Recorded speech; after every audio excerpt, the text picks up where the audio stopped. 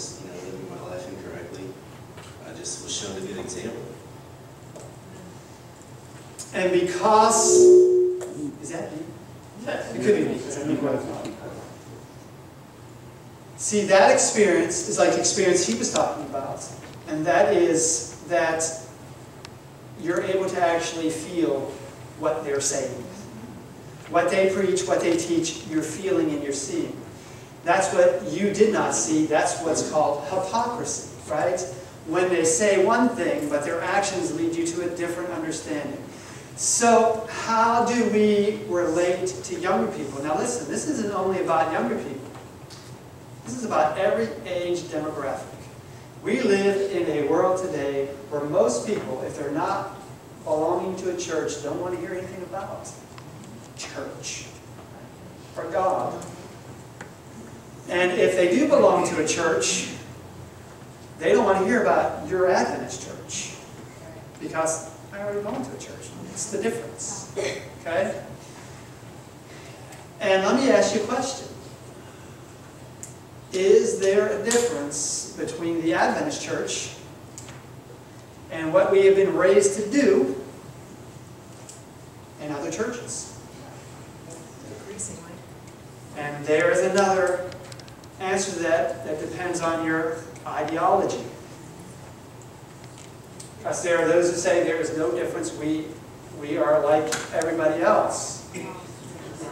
But if we're like everybody else, then there's no reason for us to have ever been formed. And there's no reason for us to stay what we are today. But what we have become is we have become a denomination and an institution instead of a movement. Amen. Okay? What we as Adventists have been called to do is to proclaim the gospel message. Now, do you guys know the difference between a Protestant and a Catholic? The Protestants were called Protestants. Why? Because they were protesting certain teachings of the church at that time. And are the Protestant churches today still called Protestants? Seventh day Adventists, are you Protestants? No, you're Protestants. You come from the line of the Reformation. But the question is, is do you even know what you're protesting? Is there any difference between you and all the other thousand denominations out there that call themselves Protestants? Do they even know what they're protesting? Do you know the shoulders that you're standing on and the truths that have cost so much blood and so much sacrifice? And we come and we sit today in comfort and in air conditioning, in freedom and in relative peace for an hour or two, depending on how long-winded your preacher is. And then you go home and you relive your real life. Okay? Is that what Christianity is about? This is why you need to make a decision today, right now. Why do you follow Jesus Christ? Does he mean anything to you?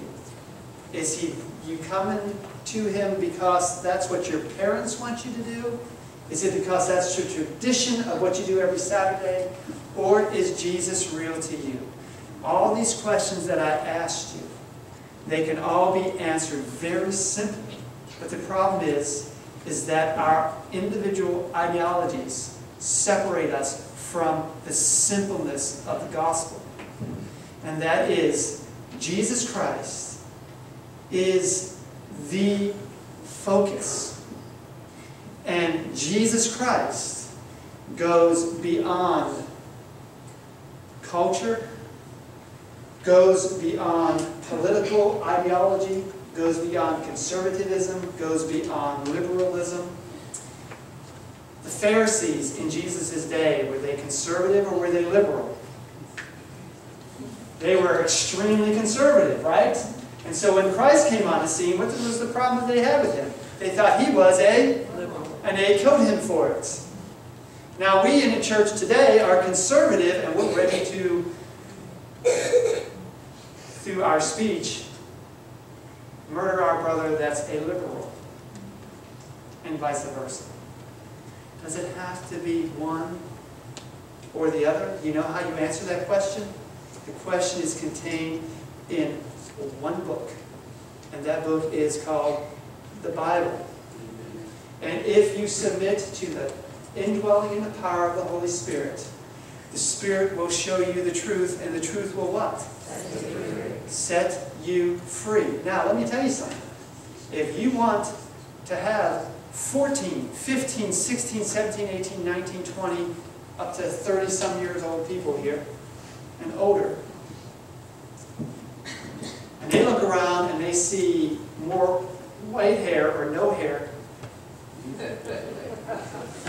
than dark hair, then you better have something that appeals to them. Is that right? And if you're going to get flipped out about the kind of music that appeals to them, then you better have something else. You know what that something else is? Love. The authentic love of Jesus Christ. Because the authentic love of Jesus Christ will show them the difference between music that glorifies God and music that doesn't glorify God. Now, let me ask you a question. Is there a difference between worship music that glorifies God and is there such a thing as worship music that doesn't glorify God? Yes. Okay? Which is why some people like hymns, some people like uh, contemporary music. It's a big battle within the church.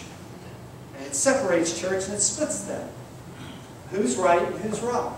Young people look at that and go, you guys are nuts. Non-Adventists look at us and go, listen, this is what they said at this meeting.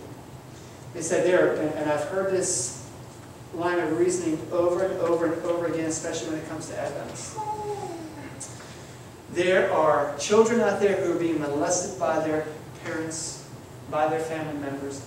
There are children out there who are being forced to work on the street. There are adults out there who cannot find work, who have lost their jobs and lost their homes, and you're worried about ordaining women?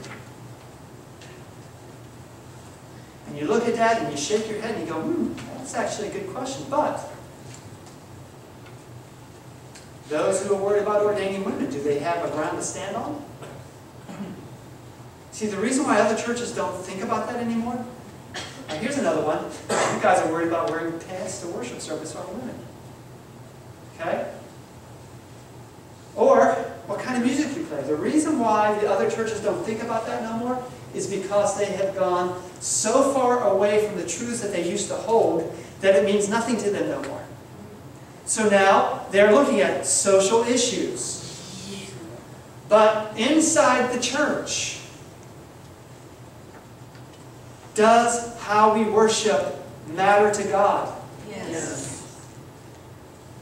Here's one. Read this whole thing online.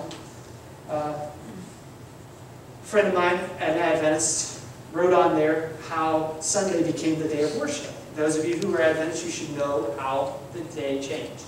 Okay? So he had a very good article on there. And now you have uh, a dialogue between people who say, we should keep all days holy. And that as Christians, we should do what Jesus did, and that is not just keep the law, but magnify and go beyond the law. But the question is, is do you follow what God says? And did God separate and sanctify a specific day? Yes. When you look at the creation story, did he create and do his work in six days?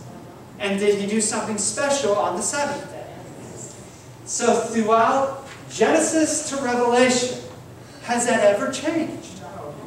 So those who keep the Sabbath, do you have a biblical uh, foundation for why you keep it? Yes.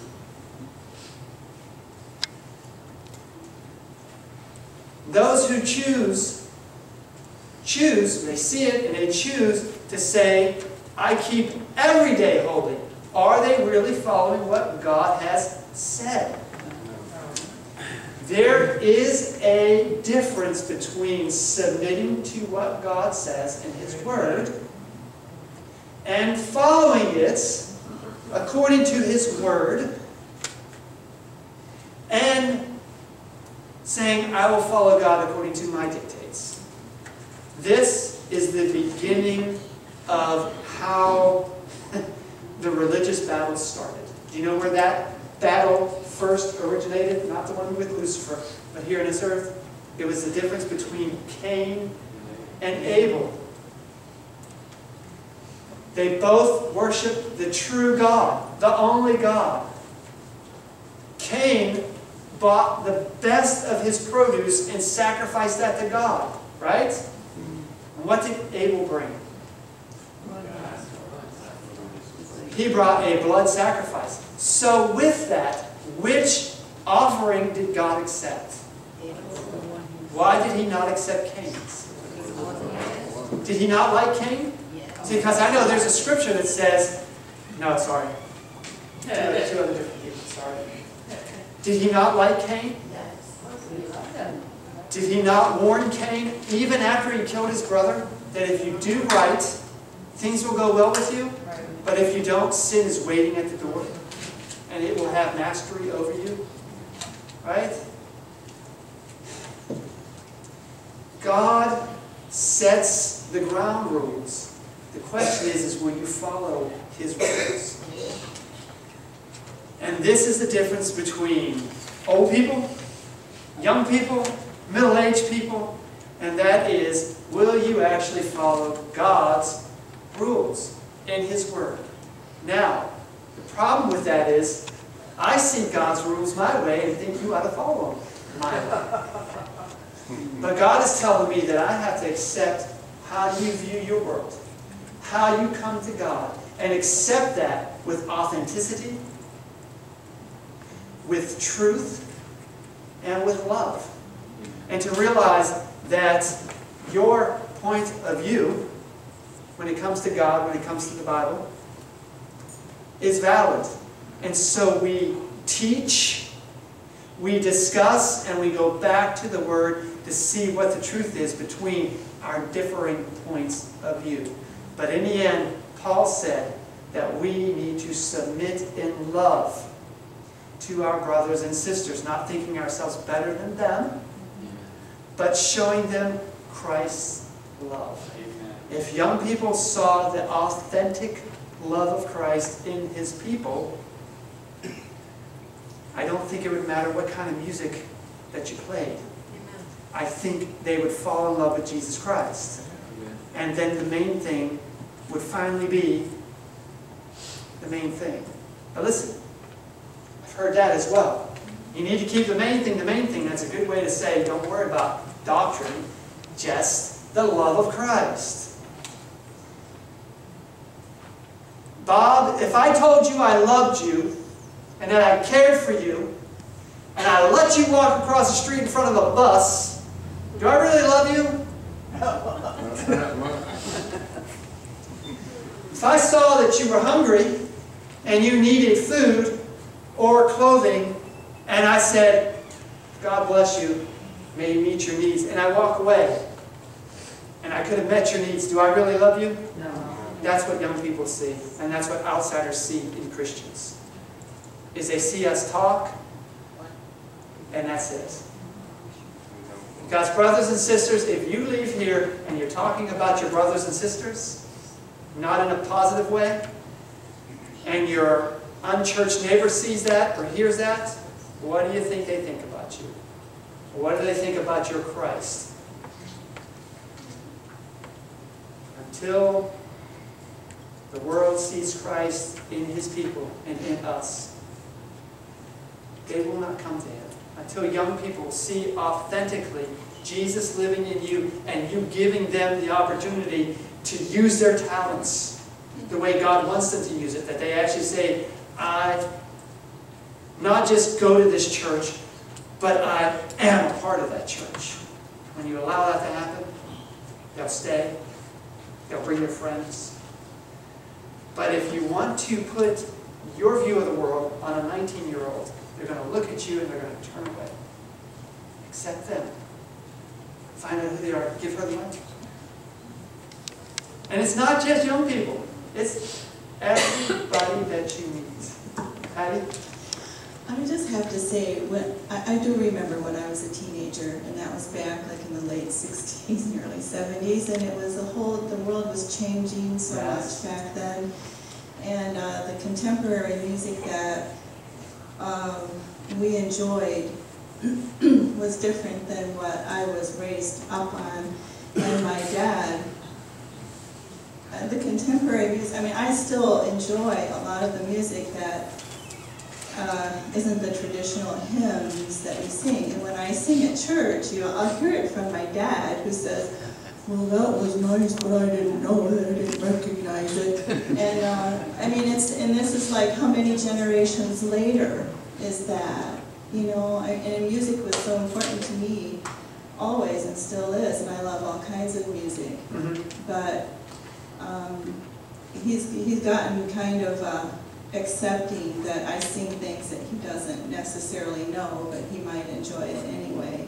And that is the key to actually making this thing we call Christianity work. And that is not, let me make sure I phrase this right.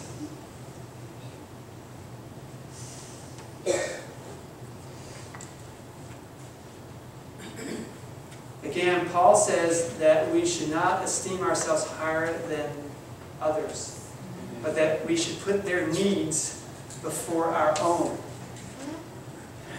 That is what your dad had to come to the decision of, that the music that you like maybe might not be that bad. Right, but that, I mean, in comparison now, the music that the, the young people play today is so different than what was, you know, when I was young, and it was this kind of the same attitude that the adults had. That never changes. toward- Yeah, and because it was different. Yes. It was different.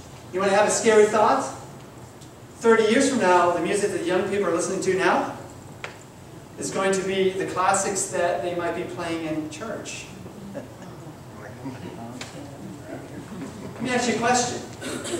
These old hymns that you sing, these classics, when they were made, were they old hymns and classics?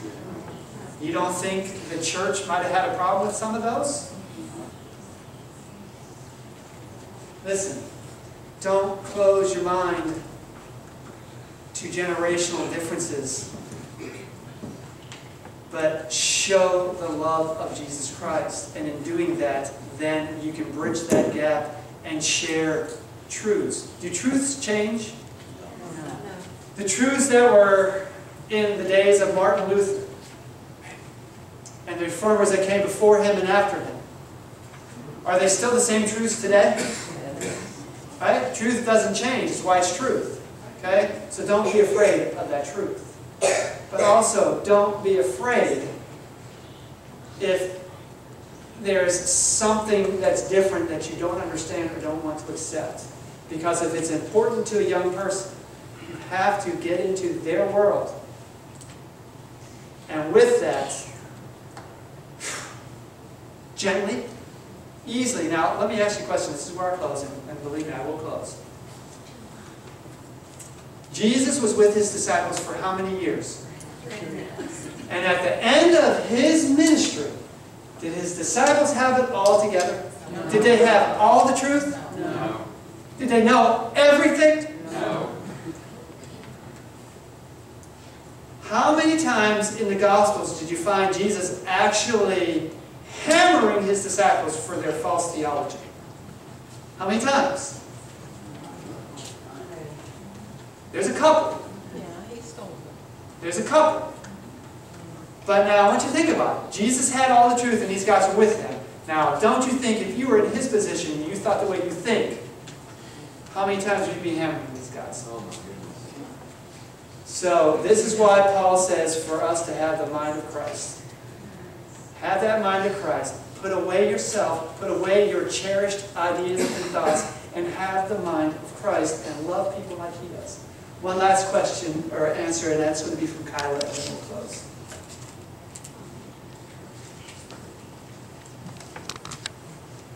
Growing up, um, my dad always listened to country music, Mm-hmm. and he always, and even um, my grandma, my dad's uh, um, um, mom always had, um,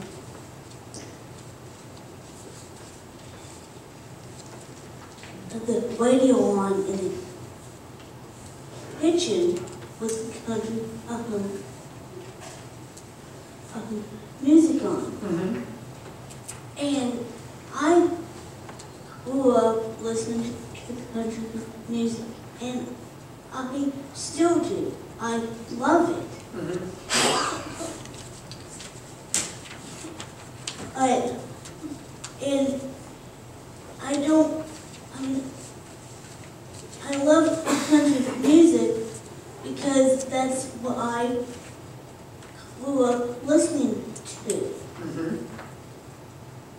And that's all I listen to is country uh, uh, music. Well, I spent years trying to avoid country music. Why? And uh, the last set of employees I had, that's what they liked to listen to. And what I did is took my own advice and became more accepting of the differences that we had. And uh, realized that this was something important to them. And so, instead of just saying how terrible it was, I actually, you know, would listen, well, no. But I let them listen to it. I listen to contemporary Christian music. This is what I listen to at work. But let me tell you something, and that's what I listen to every day. If it's not, if it's not preaching, which this is, this is the fine line that we had to draw, they can't handle preaching. Hmm. They can't handle it. It, it, just- it ruins their days. Makes my day go by easier. So I can't really deal with secular music on a regular basis. It, it tends to put me in a wrong frame of mind. And they've learned that if I'm in that frame of mind and they mess something up, they don't like the outcome. So it's better that I listen to Christian music. Helps keep me focused on doing the right thing and reacting in the right way. So we compromise and we listen to contemporary Christian music. Now I know almost every contemporary Christian song that's on the radio because they play the same 20 songs over and over and over again. But there are songs that are played that I wouldn't use in the worship service. I listen to it during the week, but for me, I wouldn't use it in the worship service. But I also know people who would, and they have no problem with that. And I accept that. Okay? Because God didn't put me here to be their mommies. What God did put me here to do was to dialogue and have relationship, and through that relationship to talk and to understand their world and their view of God, and to see if I can learn something from them. Not to show them they can learn something from me. And that is most of the time what our problem is. Closing in this morning is hymn number 327. I really thought I'd hear amen when I finished that. Like, thank God it's done. I had two weeks worth of stuff built up